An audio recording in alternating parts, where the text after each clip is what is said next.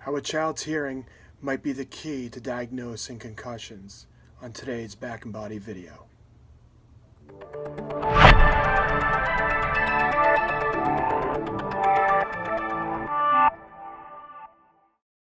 Hi, Dr. Dave Pernier with Back and Body, offering combined care approach of chiropractic, physical therapy, acupuncture, and medical care to the people of New York City as well as Union County, New Jersey, offering services in the Springfield, Westfield, Union, Cranford, Scotch Plains, Garwood area.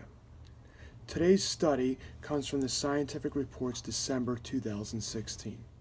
It reports the uh, brains of children suffering from concussive symptoms are less likely to respond to pitch. Now, this is exciting news as it will create a, a platform that is affordable, cheap, and portable that may be able to objectively diagnose concussive symptoms or concussion symptoms on the field at the time of play.